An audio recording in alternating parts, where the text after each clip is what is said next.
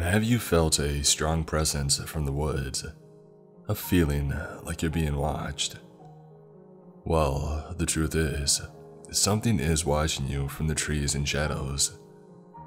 Monsters hide in the woods, preying on the innocent and striking quickly. They won't stop. They never will. This is my story, and I hope it serves as a warning to all about the truth of the woods and how dangerous it truly is. How dangerous they are. Growing up, I never had a dad. My father left me and my mom when I was young, and I haven't seen him since.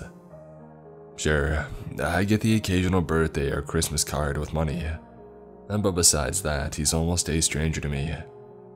After my father left, my mother decided to leave the city life behind, and we moved when I was 10 to Wisconsin, where we bought a small cabin out in the woods. At first, I hated living there. The woods always had terrified me as a kid. Every time I looked out the window towards the woods, I always got an unsettling feeling. Chills would run up my spine, and I would start to shake uncontrollably. I always felt something was watching me. The feeling never went away as I got older. I hated the walk to school that I had to make every day. The looming feeling of getting watched grew even stronger as I walked in the woods. I felt so vulnerable looking at the tall trees. The woods that I lived by had almost an endless stretch of tall trees in the forest. I felt something was watching me up on the trees. My mom, though, felt completely different about the woods. She loved it. She loved taking walks outside and just staring at the trees in the forest, taking all of nature in. She was an artist, so she loved to just sit outside and paint the trees. Many of the portraits in our cabin were of the trees and the forest. I asked her if she ever felt a presence when she was out there, like something watching her. Yeah, I feel a strong presence, but it's a comforting one, she said. I feel safe and protected. I never understood why she had such a comforting feeling from the woods while I felt a terrifying one, one that kept me wide awake almost every night. On one night when I was about to go to sleep, I saw something in the trees. It was uh, far off into the distance, but I could barely make out the silhouette of a figure. It was big and bulky with long arms, and from the angle, it looked like it was staring right at me. I froze as I stared at it. And then I heard my mom walk into my room, and when I turned to see her open the door, I looked back and the figure was gone. I tried telling my mom, but she never listened. She said I was simply imagining things and that I needed to quit being scared of the woods. The woods protect us from the outside world, Michael. They are a shield to all the bad things in the world. I knew what I saw, and I knew whatever it was, it wasn't protecting me. On the way to school that morning, I felt the presence stronger than ever. Every time I turned around, though, nothing was there. Suddenly, I heard a branch snap behind me, and I didn't dare turn around. I couldn't move. And then I heard another branch snap, and I took off running. I could hear fast steps behind me as I was running, which made me run faster. I could hear the footsteps gaining on me. When it seemed that they were right on me, I burst out into the woods, sweating like a pig. The day went by normal, once school was over, I asked my friend James if he wanted to walk home with me. James was my best friend and the only person who understood my fear of the woods.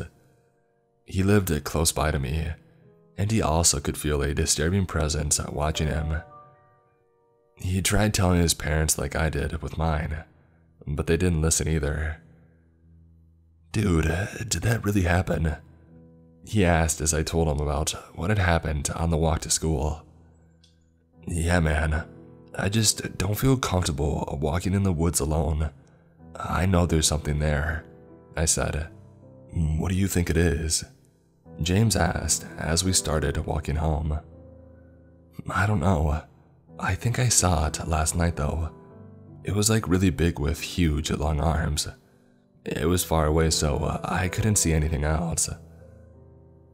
He was quiet now, and then he said, I think I've seen it too. I saw something last night too. It was a lot like the thing you describe. And then we heard a loud snap behind us and turned around to see a tree branch on the ground snapped in half. Dude, something's following us. We need to run, James said. No, don't run. I did that and it chased me. Maybe if we keep walking slowly, it won't do anything. James, looking terrified at me, nodded his head slowly as we started walking. We heard more snaps as we walked, getting louder and closer as we walked. I looked over at James. He looked back at me, white as a ghost. After what felt like an hour, I could see the outline of my house in the distance. Our pace quickened as we got closer and closer to my house, these snaps and cracks quickening as well behind us.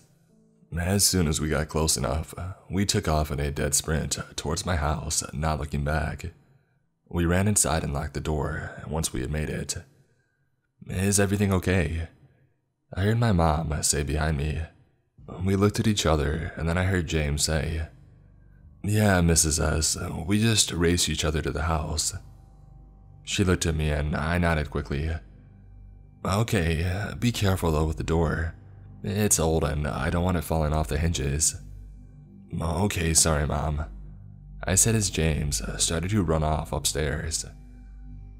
Once upstairs and in my room, James said, Dude, we can't walk that way to school anymore. I know, but what are we gonna tell our parents? They won't believe us, I said. James was silent now. I knew that he wouldn't be able to come up with anything. I think as long as we're quiet and walk slowly, that thing won't come after us, I said. Yeah, uh, let's hope so, James said in a quivering voice. James went home shortly after that, and after I ate dinner, I headed back upstairs to bed. What is that thing? I think, as I laid in bed. A person, an animal. It's quick like an animal, but it looks like a tall person. I looked out the window into the dark forest and I froze. The thing was there, and closer. I could make out more characteristics as I stared at it. It had a hunchback and long fingers with razor sharp claws. I didn't see any eyes on it, but I could somehow feel its cold stare locked on me. It just stared, Uh, observing me and then it turned around and walked back into the forest. That's no person or animal, I think to myself once it's gone. It wants me. I'm its prey. After a restless night of sleep, I woke up and walked downstairs to see my mom sitting on the counter with a worried look on her face. Hey mom, is everything okay?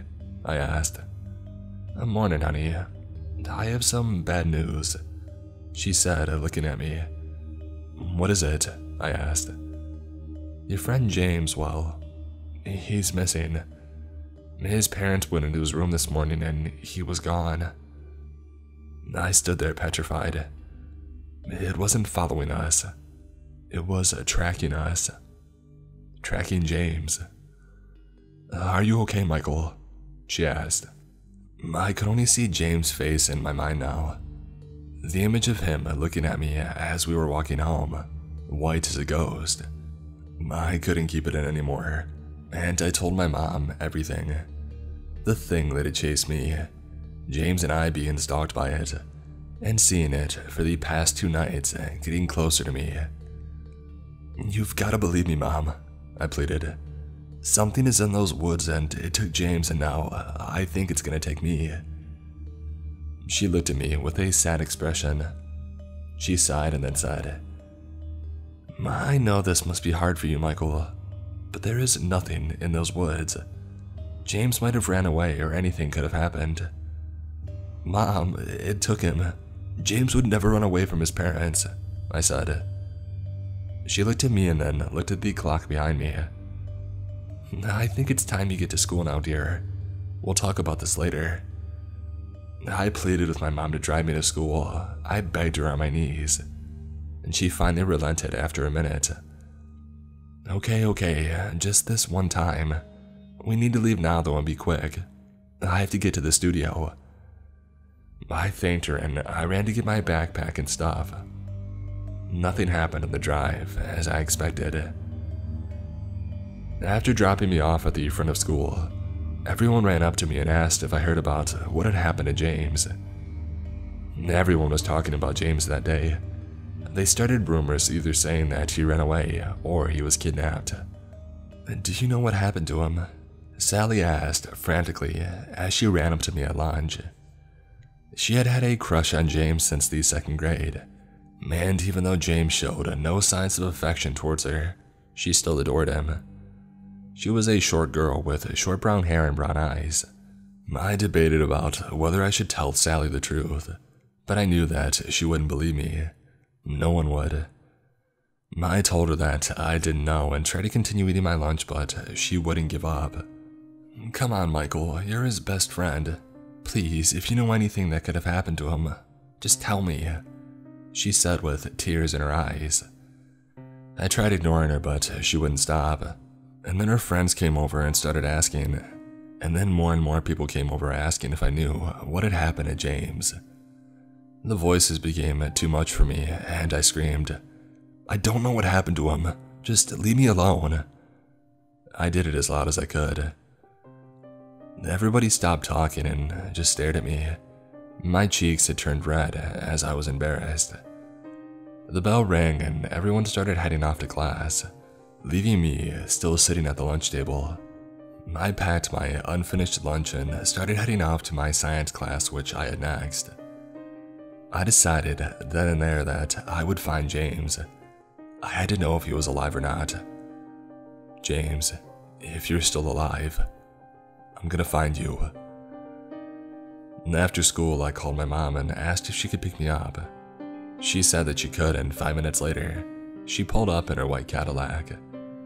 As we drove home, she asked, Are you feeling better, honey? I lied, saying, Yeah, much better. I knew that she would never believe me. I was going to have to face that thing on my own. We got home and I headed straight upstairs where I dumped all of my school supplies on my bed and started to pack gear for that night. I packed a spare flashlight battery, some water, and I put the pepper spray my mom gave to me last year in my pocket just in case. As I was eating dinner, I came up with a plan. I would sneak out of the house when my mom went to bed, which was usually around 10 o'clock, and I would head into the woods and try to find and look for James. I knew my chances against that thing were slim to none, so I knew that I would have to be quiet and careful. After dinner, I went to my room and I waited. Hmm. I waited for hours until I looked over at my clock which read uh, 10:30 p.m. I hopped out of bed and walked over to the window, opening it quietly. I made a little rope with my bedsheet as I waited, as I knew that I wouldn't be able to jump off the window without getting hurt. I tied the rope against my bed and started to climb out of the house slowly. Once down on the ground, I turned my flashlight on and aimed it towards the woods. It was even more terrifying now. The trees seemed endless and I couldn't even see the moon. I took a deep breath and I started to walk slowly into the woods. I noticed something that started to scare me quickly once I was walking. There was absolute silence. Not a peep. No crickets and no owls and nothing. I flashed my light around quickly, calling out James' name quietly. James, James, are you out there? Nothing but silence echoes the woods. I walk towards the directions of James' house, thinking that he may be around there. As I'm about halfway there, the battery for my flashlight dies. Darkness now engulfs me as I panic. I scramble for the batteries in my backpack. Once I find them, I take the dead batteries out to my flashlight and I put the new ones in. When I turned my light back on, I screamed. Standing in front of me was that thing. The fear that I felt was indescribable. Even to this day, the image of it still fills my dreams with nightmares. It had no skin. It was all red muscles and tissues. It had no eyes, and its mouth was full of dozens of razor sharp teeth, and it smiled and drooled looking down at me. It was at least nine feet tall, and it had a bad hunch to its back. Its claws were even sharper close up, as sharp as its teeth were. Its upper body was big and bulky, while its long legs were skinny as a twig. Its arms were huge with big muscles and bulging veins. I screamed even more as it bent down and picked me up by the head. It dragged me across the woods as I kicked and screamed. Stupid, stupid. What the hell were you thinking coming into the woods? I thought. It dragged me until I eventually passed out. When I woke, I found myself in a dark cave hanging upside down by at least five feet. The cave looked ancient, with three tunnels that led into darkness. I had never seen this cave in the woods, never even knew there was one in the first place. The light that was in the cave was from a single fire in the middle of it. I could see my backpack on the ground with my phone near it. I tried to reach and grab it, but uh, I couldn't move. The thing had wrapped ropes around my ankles to the sharp rocks above me. I was hopeless. I thought to James now as I started to look around the cave. In one of the corners of the caves, I saw a single orange t shirt on the ground. That was a James shirt, I realized. Suddenly, I heard heavy footsteps walking towards me. I saw the thing walk into the cave as it stared at me. I panicked and started screaming again. And then the thing spoke in a dark and gruff voice. Quiet, food. Maybe I'll let you live a little longer. I shut up now, petrified as it spoke to me. I saw in its hand a leg. God, please don't let that be James, I thought. It spoke again. I've been watching you for a long time. You've always looked the most appetizing of everyone. It lifted up the leg in its hand and then said, Your friend here tasted wonderful, but I think you'll taste even better. It said with a twisted grin on its face. I started to cry, weeping at the loss of my friend and knowing that I would follow in his footsteps. Somehow, I got out a question in a shaky voice. What are you? The thing looked down at me for a moment, thinking, and then it said, I am an ancient being. My kind is almost extinct as there are only a few of us left. We have ruled the woods for the past centuries, preying on anything that steps foot on any of our lands. Over time, hunters have come and killed most of my kind, now we hide in the shadows, only coming out when food is near. I thought for a moment before asking another question. Do you only eat young kids? The thing now smiled, showing off its dozens of teeth as it said, Of course. Kids taste the best, juicy and sweet. It had cut me off the ropes with its claws, squeezing me with its ginormous hands as it started to open its mouth. I was barely able to ask one more question. How can you hunt without any eyes? It stared at me, closing its mouth before saying, I can track your scent. My nose serves as my eyes because I have none. I smell my food out before I come for it at night. Lucky for me, I didn't have to come to you. You came to me. It opened its mouth wide as I panicked, starting to throw myself around, trying to get out of its grasp. Hold still, food. It boomed at me. I was somehow able to move my hands into my pocket, where miraculously I felt the pepper spray that didn't fall out of my pocket. I acted quickly as I got closer to the thing's mouth. I pulled out the pepper spray and I sprayed it into its face. It shrieked as it dropped me, crying and holding its face. I got up quickly and ran towards the middle entrance where the creature came from. I ran as quickly as I could, hearing the creature give chase behind me. I ran until I somehow found the entrance to the cave. I saw light illuminating from the entrance as I ran with all my might into the day. I kept running even after I was out of the cave. I ran and I never looked back. I was able to somehow navigate my way through the forest to the cabin. I gave a sigh of relief once I saw the cabin and I stopped running. I looked behind me now, expecting the thing to be right behind me, ready to strike. But nothing was there. I walked back to the cabin out of breath. When I opened the door, my mom ran towards me, embracing me as she cried, Where have you been? I called the police and they couldn't find you. I thought that I had lost you. I didn't say anything. I was tired and hungry, but worst of all, I was terrified knowing that more of those things were out there, waiting for me. We moved shortly after that to Chicago and moved in with my aunt. I grew up normally and made new friends in Chicago, and even got a new best friend named Kyle. I never forgot about James though. He was my first best friend who had my back and died in the hands of a monster.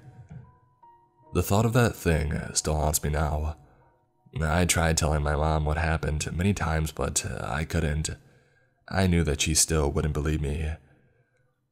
What scares me the most is knowing that there are still more of those uh, things out there, hunting in the shadows.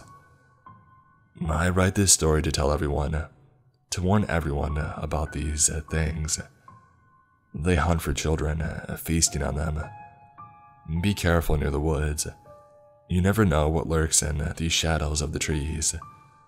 Please, don't ever go into the woods at night. They are watching and waiting for you.